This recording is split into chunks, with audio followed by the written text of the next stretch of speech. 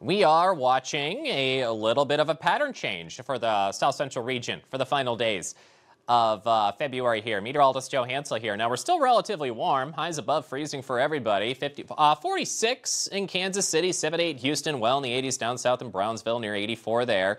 Multiple chances of rain are on the way. We'll have a cold front drop south and kind of sit in southern Texas and other surrounding states for the next few days, so accumulating rain could pile up. Some heavy rain is possible late this week, Friday, Friday night into Saturday. Some no notable breezy north winds gusting close to 30 miles per hour in northern areas of the region. No thunderstorms expected today, but tomorrow afternoon through tomorrow night, there is a marginal risk of severe weather. Area low pressure lingering in south central Texas.